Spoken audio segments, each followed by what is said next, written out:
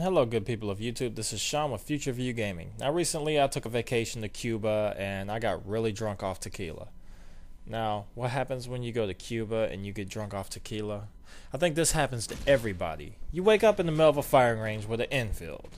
Now, you see me, I go over here, go around this trailer, and I see a care package. And this guy's name is Lord Mazza. Hey, Lord Mazza, what's up, buddy? I'm thinking this care package has something useful, like SpaghettiOs or something like that. No, it's a fucking SAM turret. So I set the SAM turret up over here, and Lord Mazza's like, he took my SAM turret essay. Nope. You're not to get to it, Mazza. You got killed by your own SAM turret. Now, that part, you probably didn't see what exactly happened there. So let me switch the angle. See, I set the SAM turret, and I run off the SAM turret. It's like, yeah, I'm hardcore, yo. Here comes Lord Mazza. He's like, I don't think so. You ain't taking me out. Starting the kill streak. You know SAM turrets have hardline pro.